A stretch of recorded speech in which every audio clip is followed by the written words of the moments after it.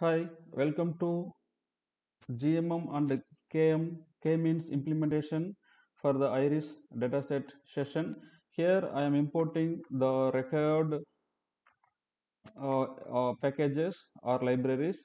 Then uh, my dataset is having uh, five columns.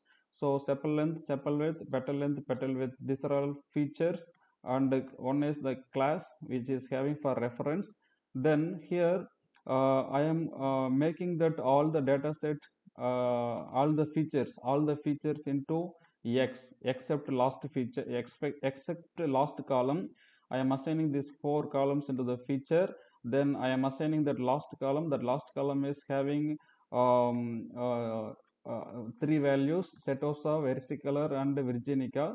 So I am making the uh, um, uh, the uh, integer values for Setosa 0 and versicolor 1 and uh, Virginica 2 by using the dictionary. And here I am uh, making the last column into the variable y. So now y is having the uh, this combination of 0 class or 1 class or 2 class. So here our data set is having three distributions.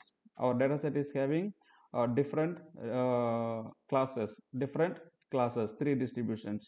Now i am making the uh, figure size into 4 4 by 7 4 is the uh, 14 is the height and uh, 7 is the width.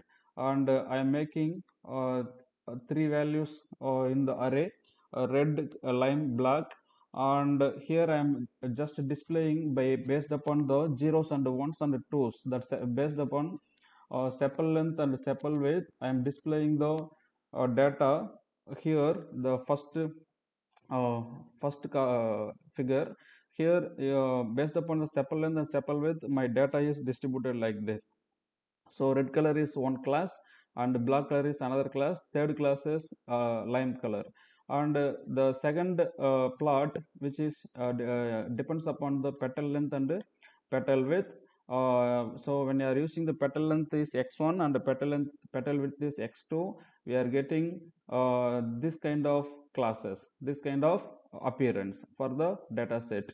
Then we are applying the k-means algorithm here. In the k-means uh, we are having two steps. One is um, uh, we, we will start with initially random value for the mean then we will calculate the clusters.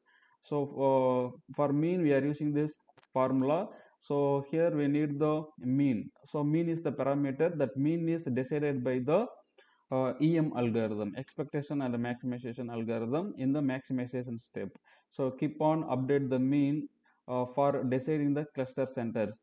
Again uh, in the k-means we are calling the k-means algorithm with uh, three distributions. That is the three clusters because we are having three classes uh, setosa virginica and versicolor then randomly or random state we are assigning. Then fit train with uh, given training data x.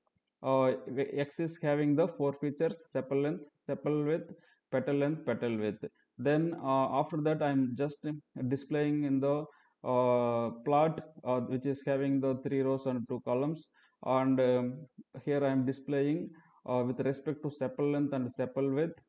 Here after training our um, our data set model output is look like this. So here the black color is one class and uh, red color is uh, second class and lime is third class.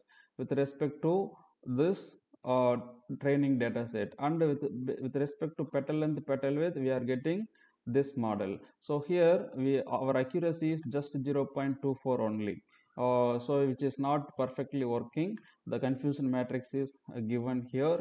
And like that for gmm model here uh, again I, we are passing the number of groups that is 3 uh, for the Gaussian mixture model we are training that GMM model by using the X.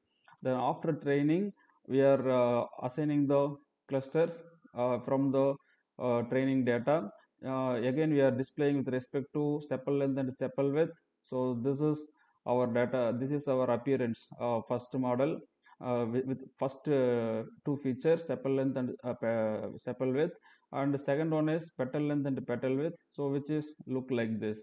So this is the way to uh, use the em algorithm for uh, uh, k-means and gmm models. Here the gmm model is having two parameters sigma and mu. So for updating that parameters we are using the um, em algorithm. In the k-means we are we are having the mean as the parameter. So for updating the mean parameter we are using the em algorithm. So we can use the em algorithm in this two uh, methods. Thanks for watching